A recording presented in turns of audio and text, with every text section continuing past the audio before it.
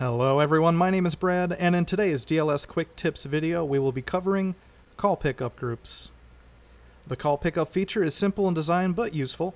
If you need to answer a call that is ringing an extension you either do not have physical access to, or will not be able to reach in time before the call goes to voicemail. Here's a scenario. Say you're just getting started for the day. You noticed on your way in that your colleague, bright and early, hasn't quite lived up to his name and is running a little late. You know he was expecting an important call, and sure enough, his phone starts to ring.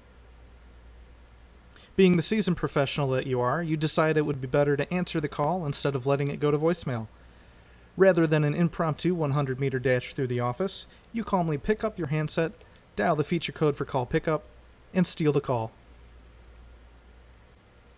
If you've decided by now that call pickup groups are right for you, then follow me over to the user preferences page where we can manage which users are allowed to answer others' calls. To be able to use this feature, each extension must be designated a call pickup group number. That way, when they dial the feature code for call pickup, it allows them to pick up calls that are ringing to other extensions of the same pickup group.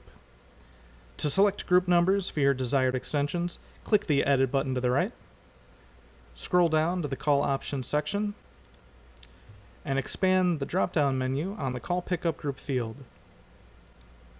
After you've selected your desired call pickup group number, scroll back to the top and click Save. That's it.